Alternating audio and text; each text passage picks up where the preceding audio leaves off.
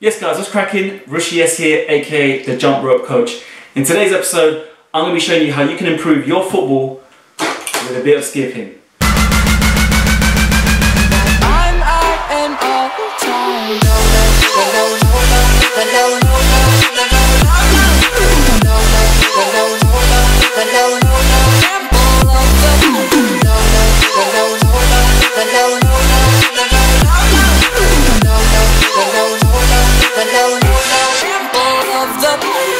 Right, so before we get into it, if you want to go straight to the skipping tutorials and the skipping moves to help you playing better football, go to this timestamp. Cool. Right, so why am I making this video and how does skipping and football relate and how does it even make sense?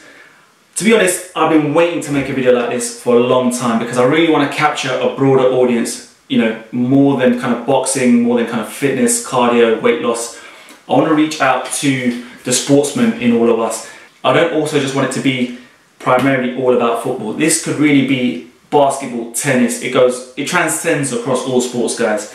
But the reason why I'm focusing on football is because football is a massive passion of mine, and I want to really share with you that in these last few years since I've started picking up a rope and started training with this thing, where I've been working full time and I haven't had a chance to train as much as I used to, that in fact this has helped me not only keep in shape and keep fit, is actually improve some skills that when I was 18, 19, um, so I'm 31 at the moment, when I was 18, 19 that I never had.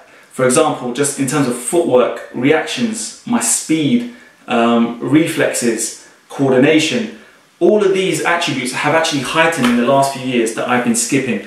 And I want to share that with you. And I want to hope that from this video, when you go away watching this video, that you actually feel like you want to try skipping, especially if you're into football or whatever sport you're in, because it will give you that edge over opponents. You won't believe it will just get you crushing things on the football pitch, on the basketball court, tennis court, whatever it may be. So I'm going to pull up a few clips of the legend that is Lionel Messi and Cristiano Ronaldo, the two best players to arguably kick a football in our lifetime, in our generation at least.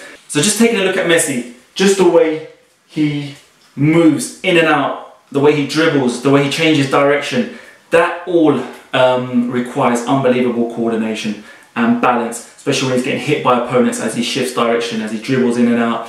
Um, just the way he has to change his speed, take off, acceleration. Um, moving on to Cristiano, he's just the same. In fact, in the box, he's probably, he showcases a lot more movement, I would say. He's a lot more reactions, a lot more reflexes, his spring springing his jump. Um, we're talking about fast twitch muscles here. We're talking about plyometrics. We're talking about using something like a skipping rope to heighten your coordination. It will, it will become second nature for you to change direction. It will become second nature for you to change speed, to accelerate, to, to be first to the ball. And that's because you're always on the balls of your feet with skipping. You're, you're really firing up those fast twitch muscles. The way it helps your brain function is unbelievable. You wouldn't imagine. Because you're having to use so many different body parts and so many body parts are moving when you are skipping you're actually improving your kind of central nervous system. The way you can send messages from your brain to this part of your body to that part of your body as you're different, doing different moves. This video is not all about trying to teach you how to dribble or how you can score from 30 yards or beat 10 players. It's more of a case to raise awareness that if you learn how to skip if you try and incorporate it in your training it will be like spending hours on a ladder or you know in between cones or whatever the usual training mechanism is when you're playing football. It just means that you get to do it from your home, outside, it's just more portable, it's not weather dependent. Right, so I hope you enjoyed that kind of first section of this video, which is the more kind of educational section. Let's move on to the second part now, where I'll show you my training session with semi-professional footballer Richard Olu. So sit back, relax, take it all in. If you have any questions, be sure to leave a comment below and I'll see you in the next clip. We're gonna do some high knees, quick sprints.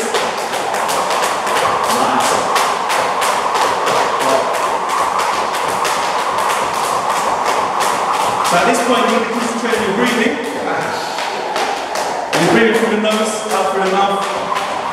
So chest out, core in. So we typically do this for about a minute and then take a breather, move for 30 seconds, and then go again. if you can last that long. But otherwise, that's one form of exercise, and that one suits the footballers down to a treat.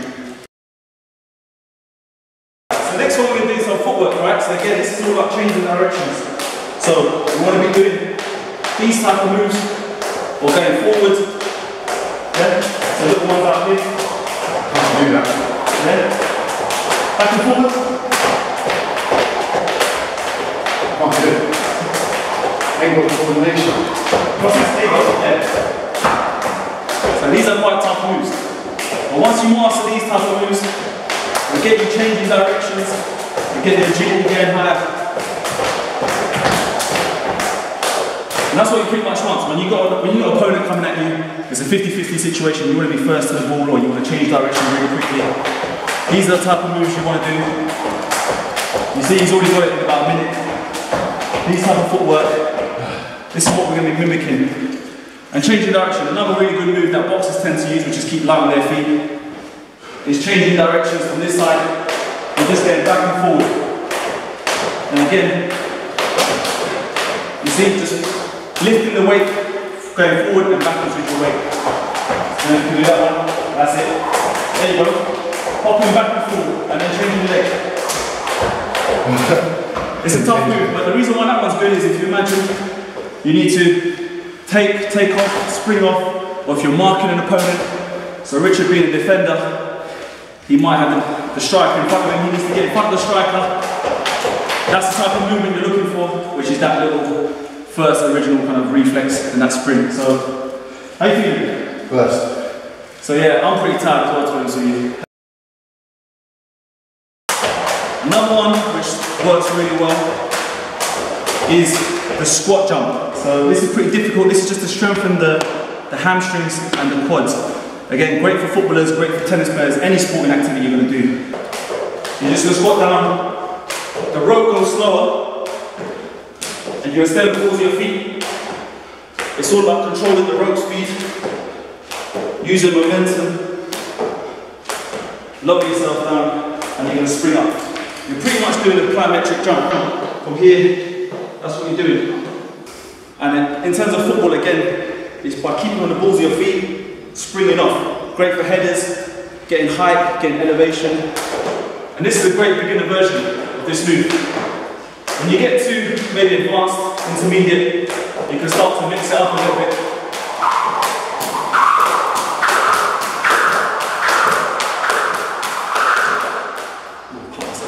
Again, that explosive energy to spring up, change direction. Those are my top three moves for footballers and sportsmen in general. How are you feeling right now? First. Right guys, I'm going to conclude the video right there. I hope you found that interesting and educational at the same time and that now you're motivated to try and get yourself one of these and get skipping. So you know the drill guys, please like this if you found this video helpful just to show me your support and comment and give me some feedback to let me know what you want to see in the future going forward and if you have any questions at all. Don't forget to hit that subscribe button because we've got a lot more coming for you and I'm so glad that I finally made this video because I've been itching to do it for a long time. So take care of yourself, skip the treadmill, stay safe. Peace. Messi.